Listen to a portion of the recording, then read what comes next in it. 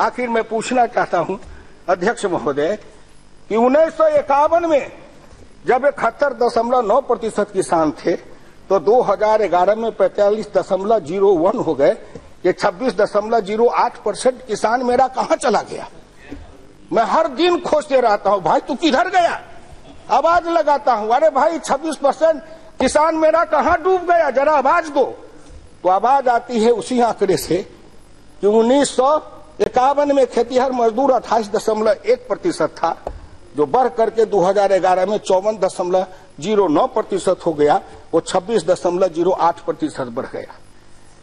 छब्बीस दशमलव ज़ीरो आठ प्रतिशत किसान हटा, छब्बीस दशमलव ज़ीरो आठ प्रतिशत खेतिहर मजदूर बढ़ा।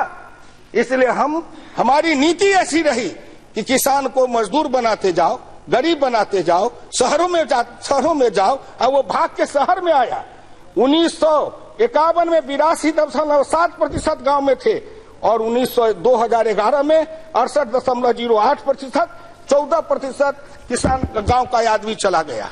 वही था जो शहर में आया, दिल्ली में आया, फुटपाथ पर सोता है पेड़ के नीचे सोता है, रिक्शा ठेला चलाता है, आधे पेट खाता है। अगर धन्यवाद देना चाहिए गुरुद्वारा को, जो गुरुद्वारा के लंगर का प्रसाद, अगर इन हज़ारों लोगों को रोज दोनों शाम नहीं मिलता तो कितने लोग दिल्ली में भूखे रह जाते? किसान के बच्चे, सभी जाति के हैं। ये नहीं कि कोई पिछड़े दलित हैं, सभी जाति के हैं।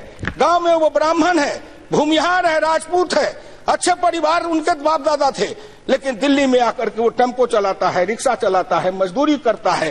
कहा परिवर्तन किया? उसको बदलने के लिए श्री नरेंद्र मोदी ने प्रयास किया है कि हम इस दिशा को कैसे बदले। कि कोई भारतीय बाहर संकट में हो और ये सरकार चुप्पी साध ले, ये संभव ही नहीं है। ये हमारी कार्यशैली ही नहीं है।